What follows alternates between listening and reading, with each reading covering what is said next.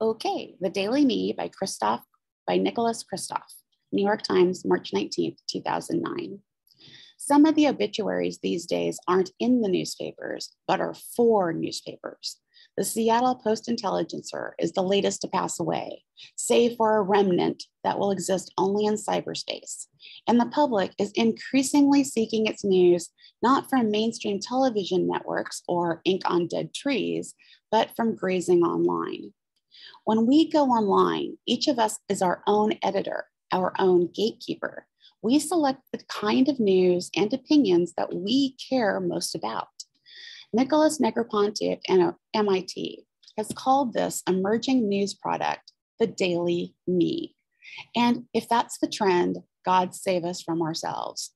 That's because there's pretty good evidence that we generally don't truly want good information, but rather information that confirms our prejudices or beliefs. We may believe intellectually in the clash of opinions, but in practice, we like to embed ourselves in the reassuring womb of an echo chamber. One classic study sent mailings to Republicans and Democrats, offering them various kinds of political research, ostensibly from neutral sources. Both groups were most eager to receive intelligent arguments that strongly corroborated, agreed with, their pre existing views. There was also modest interest in receiving manifestly silly arguments for the other party's views. We feel good when we can caricature or make fun of, fun of the other guys as dunces. But there was little interest in encountering solid arguments that might undermine one's own position. That journal finding has been replicated repeatedly. As the essayist and author Farhad Manjoo noted in his terrific book last year, True Enough learning to live in a post fact society. Let me get one thing out of the way.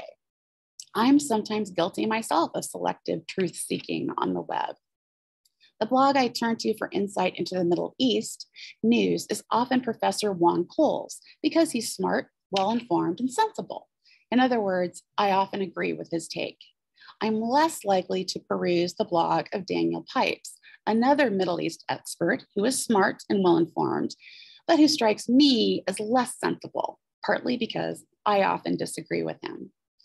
The effect of the daily me would be to insulate us further in our own hermetically sealed political chambers. One of last year's most fascinating books was Bill Bishop's The Big Sort Why Clustering of Like Minded America is Tearing Us Apart. He argues that Americans increasingly are segregating themselves into communities clubs, and churches where they are surrounded by people who think the way they do. Almost half of Americans now live in counties that vote in landslides, either for Democrats or Republicans, he said. In the 1960s and 1970s, in similarly competitive national elections, only about one third lived in landslide counties the nation more grows more politically segregated, separated, and the benefit that ought to come with having a variety of opinions is lost to the righteousness that is the special entitlement of a homogeneous or similar group, Mr. Bishop writes. One 12 nation study found Americans the least likely to discuss politics with people of different views. And that was particularly true of the well educated. High school dropouts had the most diverse group of discussion mates, while college graduates manage to shelter themselves from uncomfortable perspectives. The result is polarization and intolerance.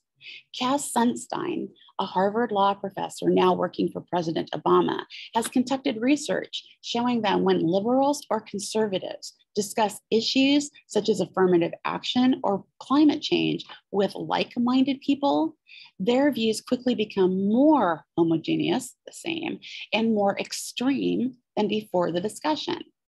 For example, some liberals in one study initially worried that action on climate change might hurt the poor, while some conservatives were sympathetic to affirmative action.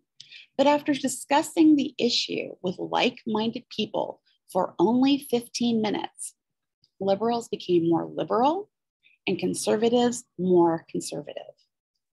The decline of traditional news media will accelerate the rise of the daily me, and we will be irritated less by what we read and find our wisdom more confirmed more often.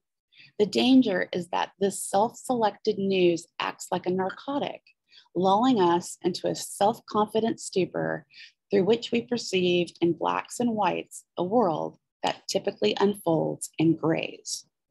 So, what's the solution? Tax breaks for liberals who watch Bill O'Reilly or conservatives who watch Keith Olbermann? No. Until President Obama brings us universal health care, we can't risk the surge in heart attacks. So perhaps the only way forward is for each of us to struggle on our own to work out intellectually with sparring partners whose views we deplore, hate. Think of it as a daily mental workout, analogous to a trip to the gym. If you don't work up a sweat, it doesn't count. Now, excuse me while I go read the Wall Street Journal's editorial page.